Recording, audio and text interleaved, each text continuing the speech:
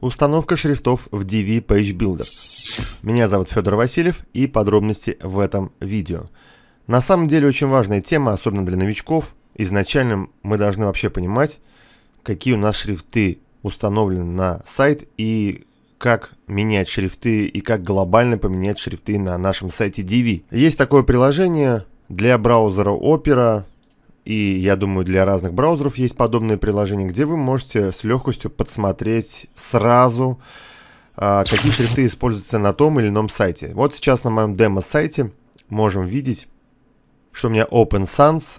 Вот здесь вот мелко такие появляются маркеры над каждым текстом за счет этого приложения, да, чтобы сразу я мог подглядеть, какие шрифты у нас установлены. Для тех, кто не знает, шрифты лучше использовать встроенные а, на наш сайт или загрузить собственные.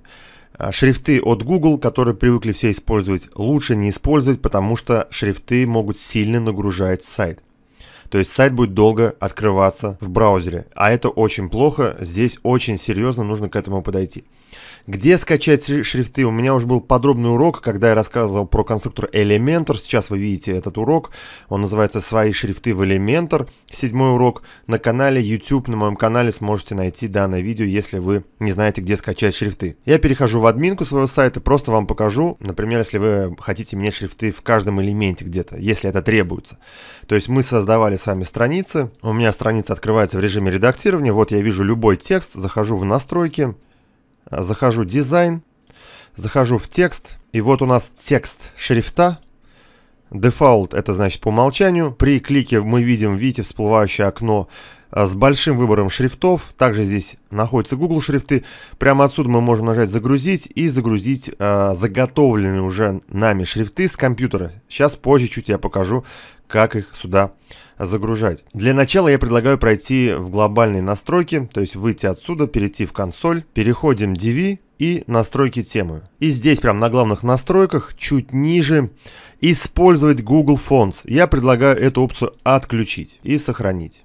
Далее, чтобы назначить, и это будет правильно, кстати, назначить глобально шрифты для всего сайта. Это можно сделать в самой теме. Переходим в внешний вид темы, в настройки темы, или прямо отсюда можно было перейти DV, настройки темы. Далее мы с вами переходим здесь общие настройки, типография. И здесь мы можем настроить общие настройки для типографии. Размер текста, боди, а, по умолчанию 14 пикселей. То есть, смотрите, все вот эти боди это тело. То есть, это настройка размера шрифта для тела сайта. Это все то, что входит между хедером, это шапка сайта, верхняя часть сайта, то есть вот ниже все вот это, это боди. И до подвала, нижняя часть сайта, это подвал называется. Соответственно, все, что в боди, вот все шрифты будут 14 размером. Здесь за ползуночек можете потянуть влево-вправо, увеличить размер, и все шрифты в области сайта а, будут увеличены или уменьшены. Также высота строки боди, размер текста header, как раз таки шапка сайта, да, расстояние между букв header, изначально 0, высота строки header.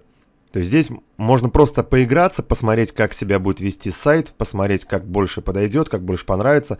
То есть внесли какие-то изменения, нажали «Опубликовать», обновили сайт, смотрите, что изменилось. И вот здесь есть стрелка «Это вернуть по умолчанию». То есть, например, если я сделал вот какой-то размер, видно даже здесь э, шрифт увеличился, не понравилось. И забыл, какие были изначально здесь шрифты заданы, нажимаю на стрелку, вот 14 возвращается. Дальше шрифт. Когда мы с вами Google Fonts отключили, посмотрите, как мало шрифтов, так называемые безопасные шрифты, это те шрифты, которые не нагружают сайт, которые загружены непосредственно к нам на сайт. Популярные шрифты. Georgia, Arial, Tahoma, Verdana, а вы можете взять любой шрифт из этих, если вам они подходят. И использовать спокойно на сайте. Но если вам все-таки нужны какие-то свои шрифты, сейчас я покажу, как их загрузить свои. То есть здесь шрифт заголовков выбирается, а здесь основной шрифт для всего сайта. Ну, то есть получается и там, и там выбирается один и тот же шрифт, как правило. Много шрифтов на сайте на одном быть не должно, один-два шрифта. Дальше идет цвет ссылки боди, понятно, где будет меняться цвет для ссылок, если нужно, можно поменять. Также цвет текста боди меняется здесь. По умолчанию у нас серый цвет для текста именно. Цвет текста header, понятно, меняется здесь. То есть, где header, я уже объяснил это. Соответственно, здесь мы только посмотрели с вами размеры шрифтов, расстояние и, возможно, выбор шрифта из существующих. Если же нет, э, им надо было здесь, разработчикам, прямо здесь сделать загрузку своих шрифтов, опцию. Но здесь, к сожалению, этого нет, поэтому мы отсюда выходим, переходим страницы, перехожу в редактирование главной страницы, перехожу в какой-нибудь любой свой текст, дизайн, текст, и здесь вот кнопка есть загрузить, выбираю загрузить шрифты. Как я уже сказал ранее, я уже говорил, как использовать шрифты, где их скачать в другом видео. Здесь я уже показываю, вот у меня есть шрифт Ubuntu, он так называется. Но мне надо три варианта этого шрифта, они такие бывают. То есть Ubuntu обычный, Ubuntu Bold это жирные буквы, Ubuntu Italic это тонкие буквы, то есть Light тонкие буквы Italic это наклонные буквы. То есть вот у меня есть три шрифта в формате TTF мне нужно загрузить их на сайт. А зачем мне эти три шрифта? Просто где-то заголовки у меня будут жирные, для этого я буду использовать Ubuntu Bold. Для обычного текста я буду использовать обычный Ubuntu, а для каких-то определенных текстов, какие-то выноски, еще что-то, я буду использовать наклонные тонкие буквы. Соответственно, здесь надо сначала задать название шрифта. Чтобы не запутаться, я так и назову Ubuntu и перетащить файл сюда, либо нажать на кнопку «Выбрать с компьютера». Здесь нам подсказывают, что файл должен быть либо TTF, либо OTF. Дальше у нас есть подсказка. Выберите вес шрифта. Это у нас некая насыщенность. Обычно на сайте пишут это насыщенность 300, там 500, 600. Но если мы не знаем насыщенность шрифта, от насыщенности зависит толщина букв. Мы ставим здесь все. Если мы не знаем, да, пускай будет все. И я шрифт перетаскиваю вот в эту область. Вот он у нас здесь показывается. Нажимаю «Загрузить». Итак, шрифт загружен. Вот он здесь Ubuntu. В списке вот здесь можете видеть Ubuntu. Далее я отсюда же загружаю другие два шрифта. Только я не забываю назвать вот Ubuntu Bold. Перетаскиваю шрифт. Загрузить. Таким образом мы вот здесь вот видим у нас а, загружены три шрифта Ubuntu, Ubuntu Bold и Ubuntu Italic.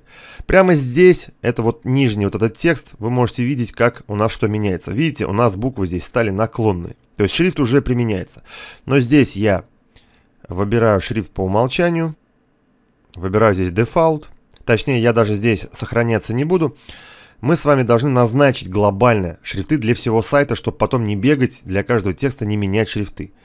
Перехожу я здесь в консоль выйти без сохранения. Дальше мы с вами здесь уже были. Перехожу настройщик темы. Дальше я перехожу общие настройки, типографика, шрифты заголовков. Вот видите, здесь у нас теперь в списке наши шрифты добавлены.